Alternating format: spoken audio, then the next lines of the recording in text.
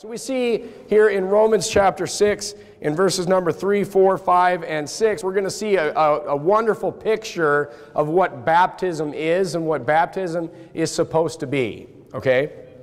It's almost confusing with all the different things that you may have heard about baptism through all these different um, religions and Christian you know, denominations. But if you were to just read the Bible as a saved person and read Romans 3 through 6, you would actually see what baptism was meant to be. And continuing in verse number 5, we see, For if we have been planted together in the likeness of his death, we shall be also in the likeness of his resurrection knowing this, that our old man is crucified with him, that the body of sin might be destroyed, that henceforth we should not serve sin. Now, first of all, I want you to look at verse number four and verse number six, where it says, should walk and should not. Okay, that's something that you should do. It's not saying that you for sure will that it's automatic that something will take over your body and you will no longer sin. It's saying that after, you know, your the picture of you being baptized is you being buried with Christ and you dying to sin. Because as you saw in the first 5 chapters of Romans, sin when you're unsaved, you are a servant, you are a slave to sin. And sin really puts you underneath this servitude of this thing called death. Okay? Because when you're unsaved, your sin causes you to be condemned. To be, you know, death has power over you. And what you're seeing here in verse number in verse number 4 it says therefore we are buried with him by baptism into death that like as Christ was raised up from the dead by the glory of the Father, even so we should walk in newness of life. So baptism pictures you dying with Christ, dying to sin. And then when you come out of the water, it pictures you walking in newness of life. Okay? This is where the words um, that you were baptized with, if you were baptized at Verity Baptist Church, this is where those words came from. Rise to walk in newness of life. For if we have been planted together in the likeness of his death, we shall be also in the likeness of his resurrection. Knowing this, that our old man is crucified with him. That's the flesh, the old man of the flesh, that the body of sin might be destroyed, that henceforth we should not serve sin. So, this picture of us dying to sin and being raised to walk with newness of life. Turn to Acts chapter 8. So, we see this picture of what baptism is supposed to be and what baptism you know, symbolizes. It pictures us you know, dying and rising again with Christ. So, who should be baptized is, is the next question I would ask if I was reading the Bible for the first time. And in Acts chapter 8, Acts chapter 8, let me go ahead and turn there. In Acts chapter 8, we hear a story of Philip. And if you look at verse number 35, there's a eunuch, an Ethiopian eunuch, and Philip was called to go to this man. And this eunuch was reading the Bible, he was reading the scriptures, and he couldn't understand it. And the eunuch answered him in verse 34 when Philip runs up to him. And the eunuch answered Philip and said, I pray thee, of whom speaketh the prophet of this? Is it of himself or of some other man? Then Philip opened his mouth and began at the same scripture and preached unto him Jesus. So Philip preaches the gospel of Jesus Christ to this eunuch who is reading the Old Testament prophets. And in verse 36, the Bible says, And as they went on their way, they came unto a certain water, and the eunuch said, See, here is water. What doth hinder me to be baptized? What's stopping me from being baptized? Why don't I just get baptized right now? And then Philip said in verse number 37 If thou believest with all thine heart, thou mayest. Now, notice how he said, If you believest with all thine heart. That's the equivalent of believing on. You know, when we go out soul winning, we explain to people, you can't, you know, it's not 90% Jesus and 10% you. He said, if you believest with all thine heart, if you believe on the Lord Jesus Christ, thou mayest. And he answered and said, I believe that Jesus Christ is the Son of God. And he commanded the chariot to stand still, and they went down both into the water, both Philip and the eunuch, and he baptized him. So they went down into the water, and he baptized him. Okay? So we see that he first said, If thou believest with all thine heart. So this eunuch, it, salvation came first. So the bottom line is, we see an example in Acts 8 of you have to be saved first and then you get baptized, which identifies you with the death, burial, and resurrection of Jesus Christ. Okay?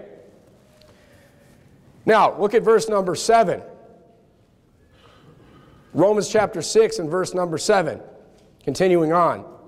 The Bible reads, For he that is dead is freed from sin. You say we're dead, but we be dead with Christ. You keep reading. Now, if we be dead with Christ, we believe that we shall also live with him. Because Jesus didn't only just die, this is the importance of the resurrection. Jesus rose again. Now, if we be dead with Christ, we believe that we shall also live with him. So we died to sin, which means it no longer has power over us. Okay? Any power that sin has over you today, if you're saved, it's because you are letting sin have power over you.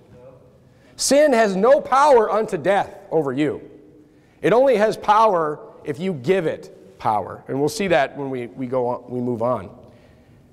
In verse number nine, we get into kind of a different, um, another, another deep doctrinal um, truth that, that Paul is going to show us here. And in verse number 9, Paul says, Knowing that Christ, being raised from the dead, dieth no more, death hath no more dominion over him.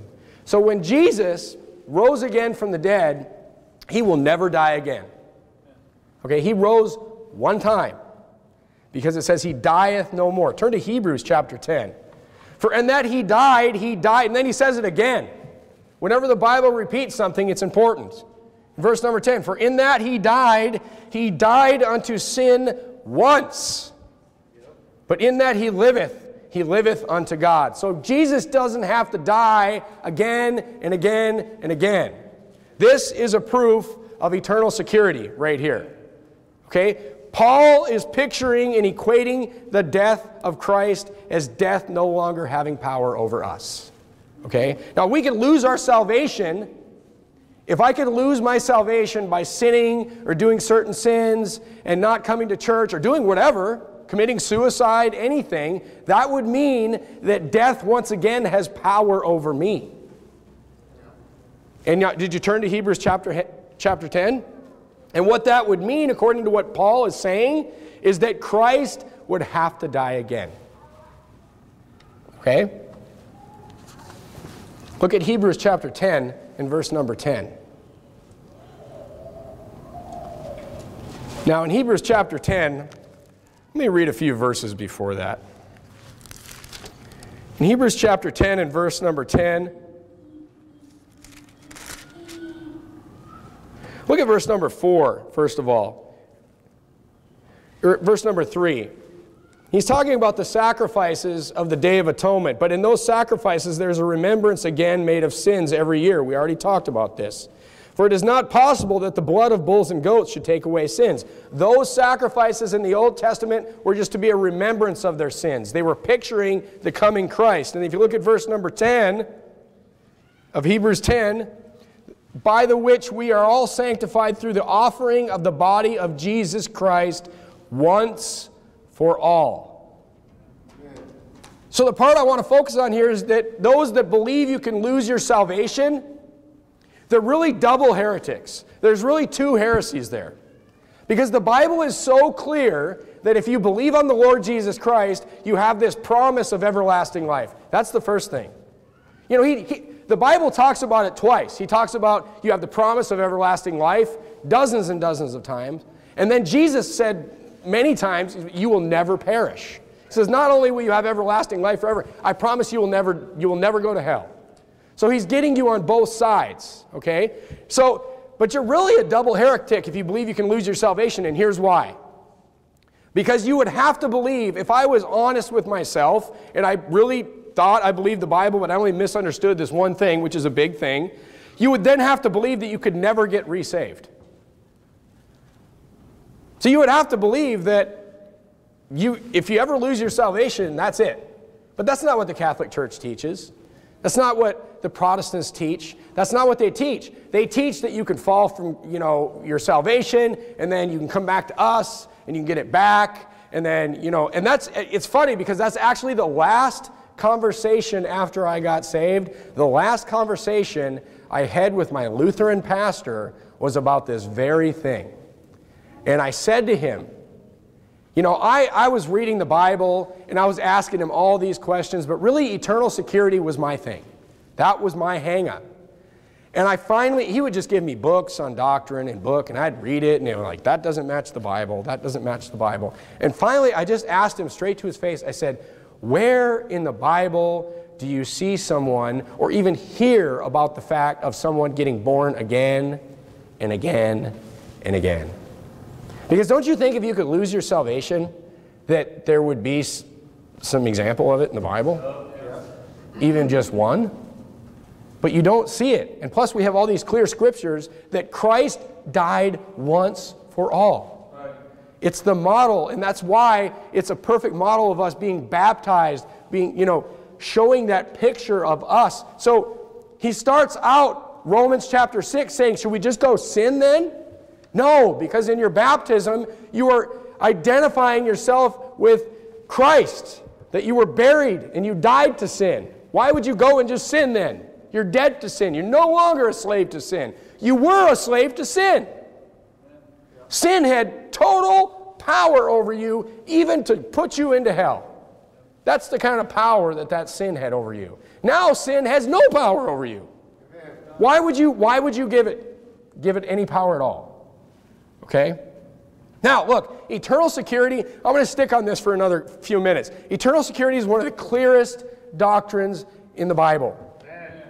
How do we know this? So, what I'm going to do is I put, a, I put a little proof together here. I want to give you a two part proof. And I want to prove eternal security to you, not using any but saved by grace verses. Okay, this is how clear it is. First of all, it's very hard to find verses in the Bible that have grace in it that don't talk about being saved through grace. So this was difficult. But the first thing I want to point out here is the first point I want to make is that it's either grace or works. We know that from the Bible. Okay, look at Romans 11 and verse number 6.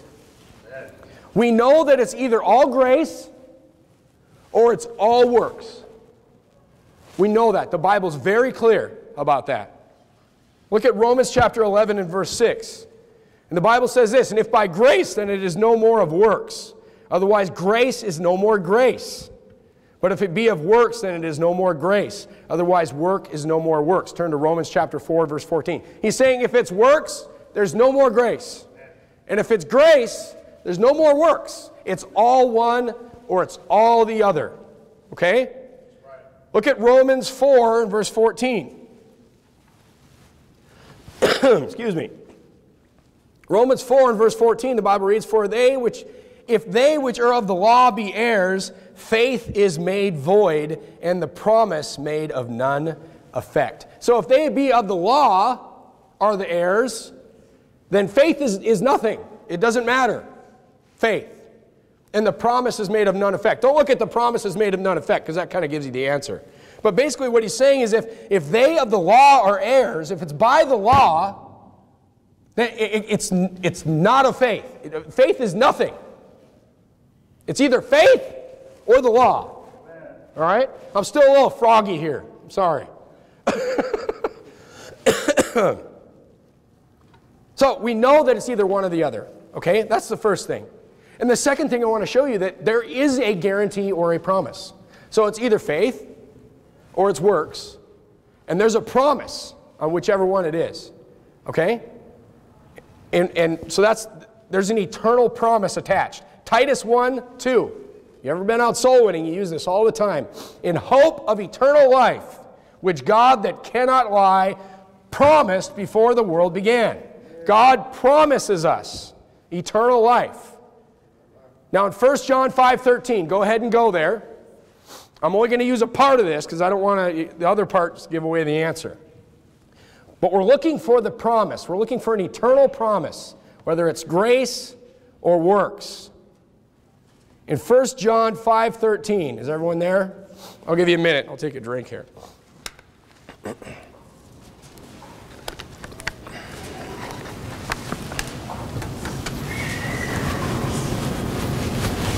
Okay, 1 John 5:13. I want you to just look at the center section of the verse that says this that ye may know that ye have eternal life. The Bible clearly says here, don't look at the other parts of the verse.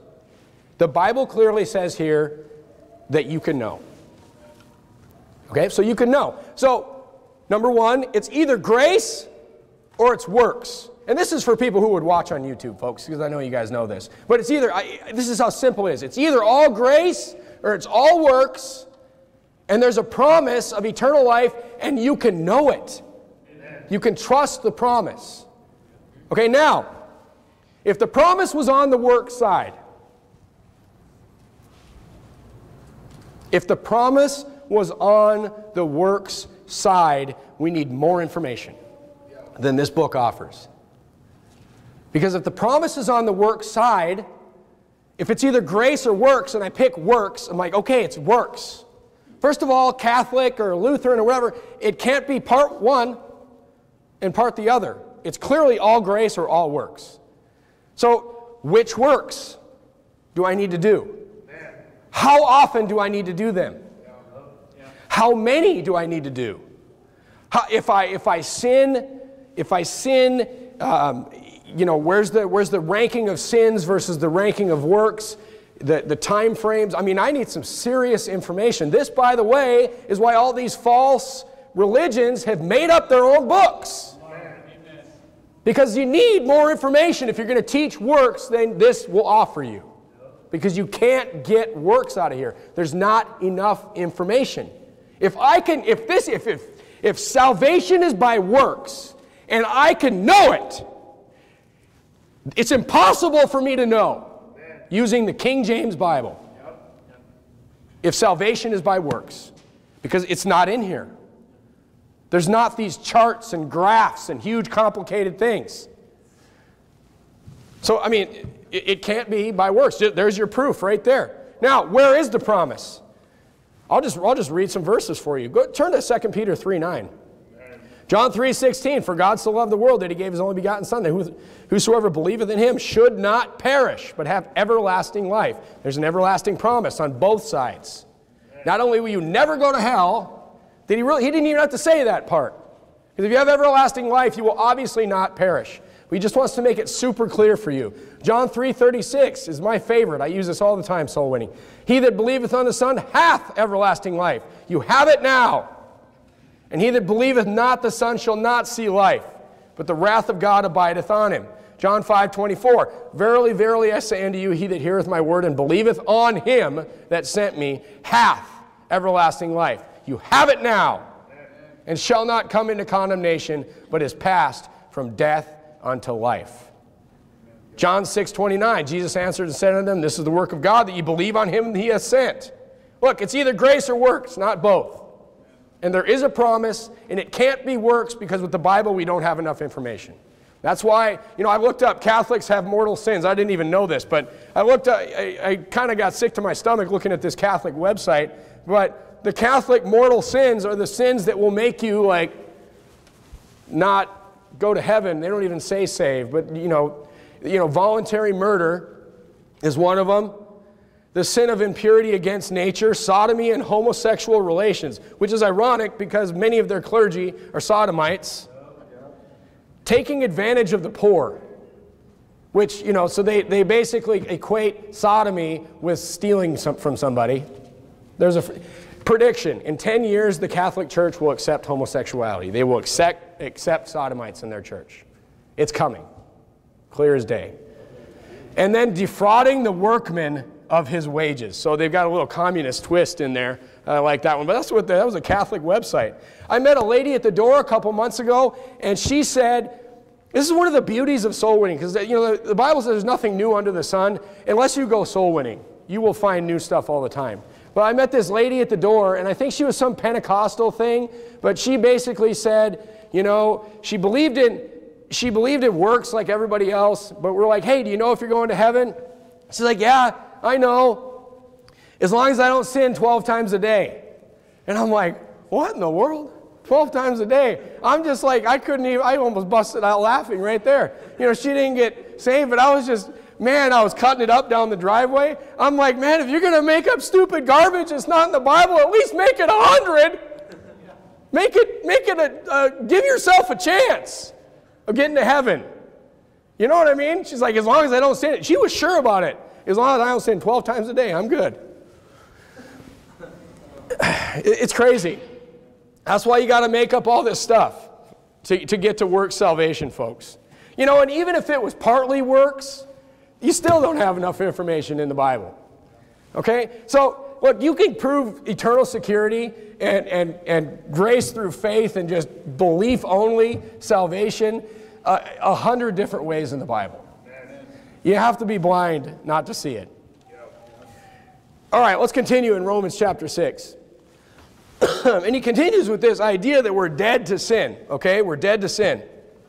In Romans chapter 6 and verse number 11, the Bible, Bible reads, Likewise, reckon ye also yourselves to be dead indeed unto sin, but alive unto God through Jesus Christ our Lord.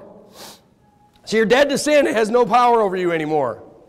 Let not sin therefore reign in your mortal body, that ye should obey it in the lust thereof. He didn't say you're never going to have lusts anymore.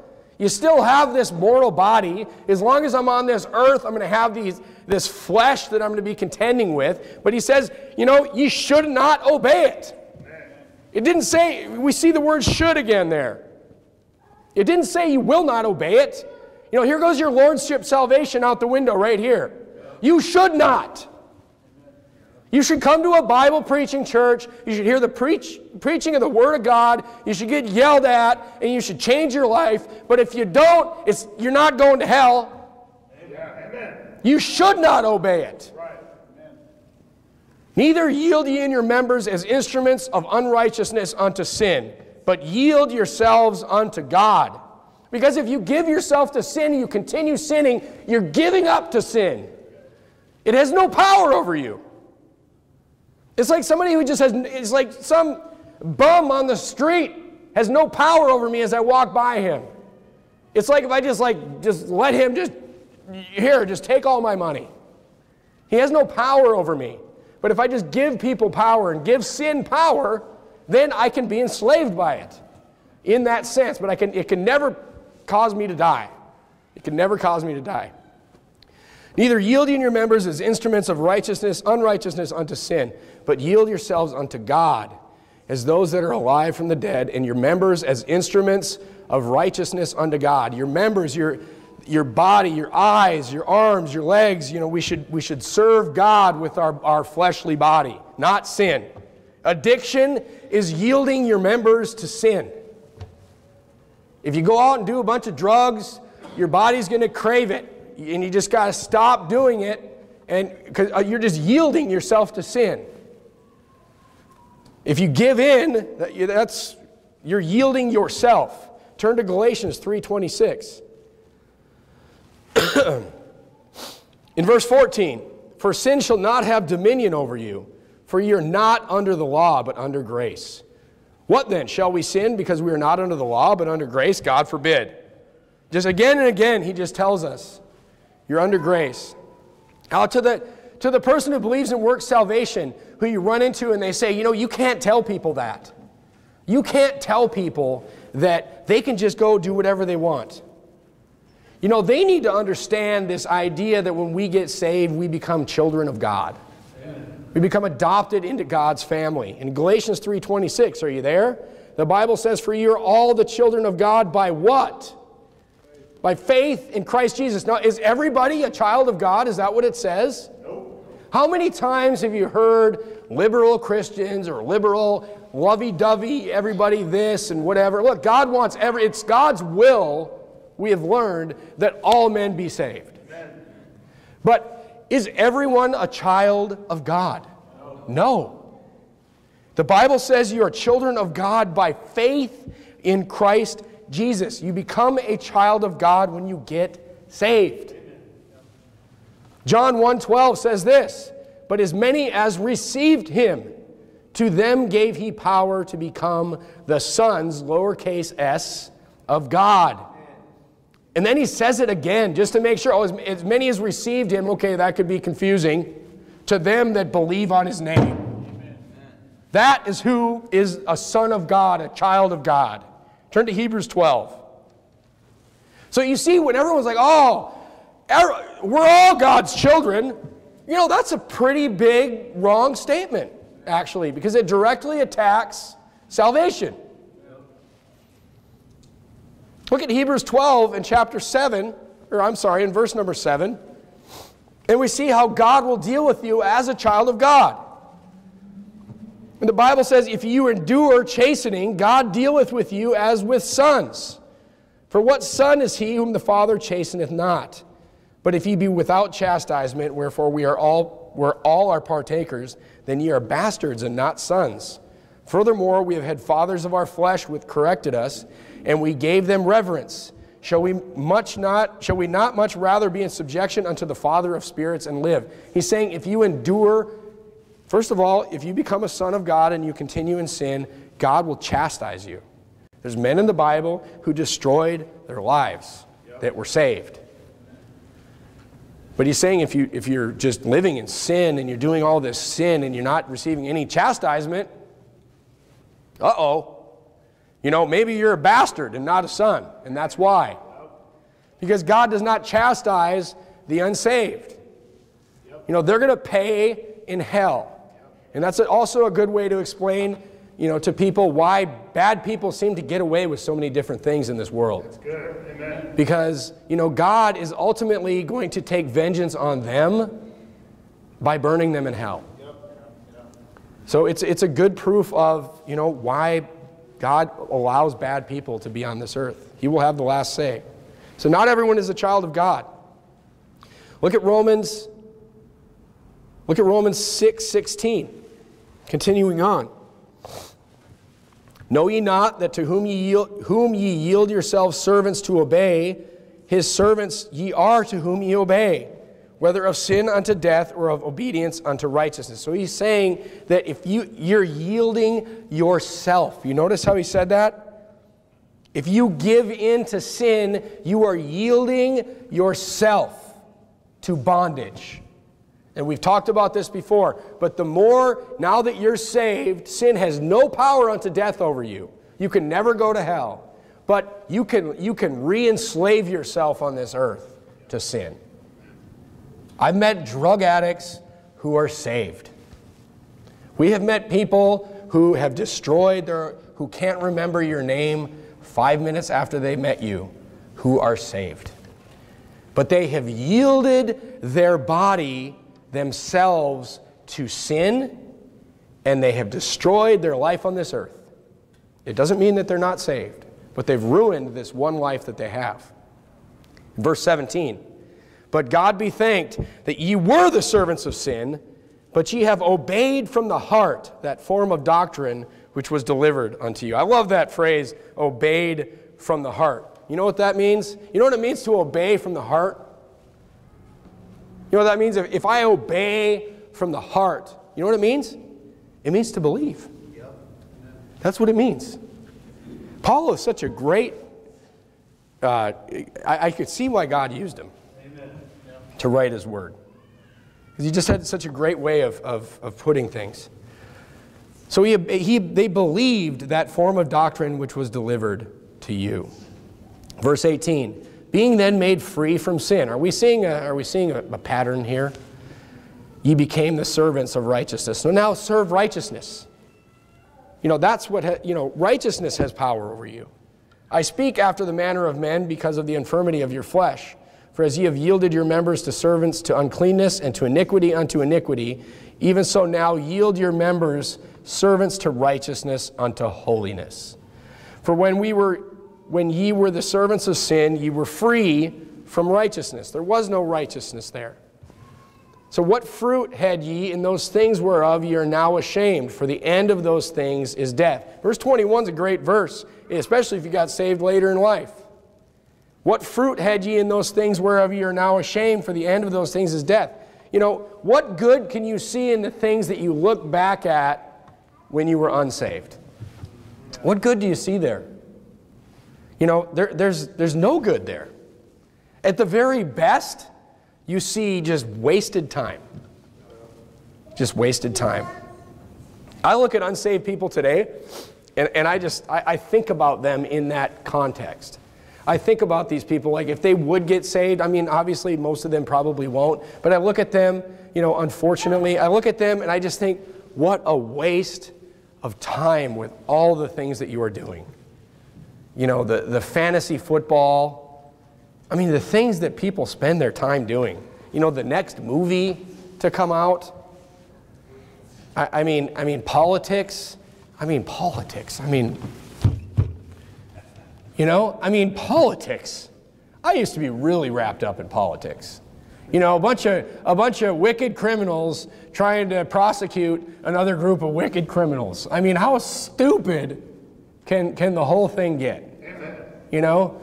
I mean, but people just, they spend their whole lives. And it's just, it's, there's no fruit. It's just, it's a huge waste of time. Romans 6:22 continuing on. But now being made free from sin and become servants to God, ye have your fruit unto holiness. Now we've got some fruit, right? Now we've got some fruit. And the end, so we get to have all this fruit in this life, and at the end we get what? Everlasting life. Amen. I mean, does it get any better than that? If you're having a bad day, just read Romans 6:22. Because we get to have everybody else is blind. 99% of the people in this world are wasting their life on stupid stuff that has no fruit, and is just going to end in death. They're going to end up in hell. And we get to have fruit unto holiness. We're doing what we're supposed to do with our lives. And at the end, just to, when, when, we, when we die physically, we get everlasting life. Or we have everlasting life. But that, it, it never ends for us. It's a beautiful thing. You should never be in a bad mood when you read stuff like that. And then, of course, he kind of repeats the same concept again. He says, For the wages of sin is death, but the gift of God is eternal life through Jesus Christ our Lord. That's a great verse that we use all the time, soul winning, to show us that, you know, we deserve death. But God gave us this gift, so we get to have eternal life. So, you know, just some application tonight. You know, what What is the main concept here? The main concept here is that we, as saved believers, are free from sin. Amen. We have total freedom. You know, it reminds me of these, these bump, you know, it, and it was free, it was a gift. It reminds me of these bumper stickers that you see all the time, like after 9 11 and all that. You know, freedom isn't free. You know, America. You know, but the, here's the funny thing here's the irony it actually is. Freedom actually is free. The irony of that, those bumper stickers, and I don't want to get into politics, but here's the irony of those bumper stickers. If freedom isn't free, so you got these guys who are just like, freedom, America. Well, you know, they convince people that they need to go destroy a country, you know, on the other side of the world that has nothing to do with their freedom. As if destroying Iraq and Syria and all these different countries makes you any more free. I mean, you have to be some kind of idiot to actually believe that statement.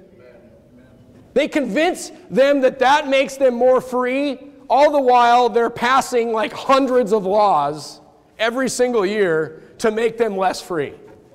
I mean, it define irony. I mean, it's crazy. I, I heard a, I read a libertarian author he wrote a, a, book once and he said something along the lines that there's so many laws in the United States now. If you give me 48 hours, I can find two felonies on anybody. He was like this, this, this constitutional lawyer. He's like, there's so many laws that I can just pick a random person and I can find two felonies. You just give me 48 hours to look into their life and you know things like that. that that's how free you are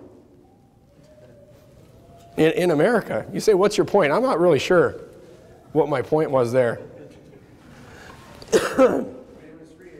but look, true freedom is in Christ. That, that's, that's the whole idea. When you got saved, that was your Independence Day. When you got saved. Okay, and you know what? It's free to you, but it was not free to God. He paid a heavy price for it. I told you about the guy drinking a beer in the lawn chair couple weeks ago. What has God ever done for me? Well, you know what? He paid everything for you. You know, He paid for your freedom. Imagine if we would take this, like, imagine all these people that are going to be at the great white throne judgment, and they're going to realize what was sitting right in front of them that they just didn't take. Imagine if we would take a diamond like this big, and we would put it just like in the middle of the street.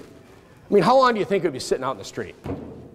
I mean, everybody would grab it, right? But that's, that, that's even worse, you know, that's not even a, a, close analogy of what's going on. There's this total freedom, a, a free ticket out of hell that anybody can have. And it's free. God offers it to you for free. That's it. But nobody wants it. So Romans 6 teaches that, you know, once you get saved, you're free from sin. You shouldn't continue in sin. If you do continue in sin, you're, you're, you're just, you're choosing to enslave yourself in the flesh. We should, we should remember our baptism, that we died with Christ, that we died to sin at your baptism. And did you stay under the water? No, you came out of the water. You rose out of the water, and the Bible says that you should then walk, we should then walk in newness of life. Let's bow our heads and have a word of prayer. Dear Heavenly Father, uh, we thank you for Romans chapter 6. We thank you for your word, Lord. We thank you for um, the free gift of salvation. And we thank you for just the, the wonderful way that you teach the Bible to us in, in these, these chapters in Romans, Lord. Um, please uh, bless the rest of our week, Lord. Bless this church. Bless everyone in it. Um, be with the families, um, Lord, in this church. And bless uh, soul winning on Saturday and bring us all safely back to church on Sunday. In the precious name of Christ we pray. Amen.